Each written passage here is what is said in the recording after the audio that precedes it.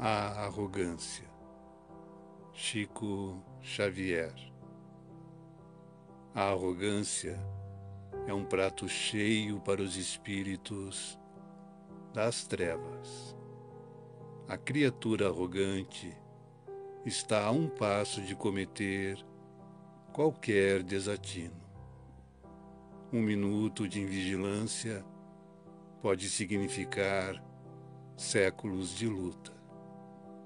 A prece e a humildade são vacinas contra a loucura, os estados de desequilíbrio que dão sanatório, cadeia, suicídio.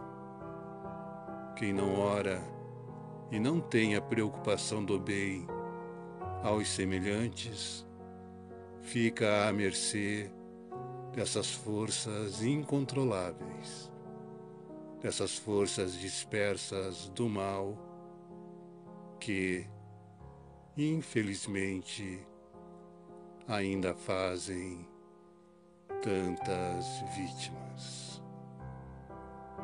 Assim seja.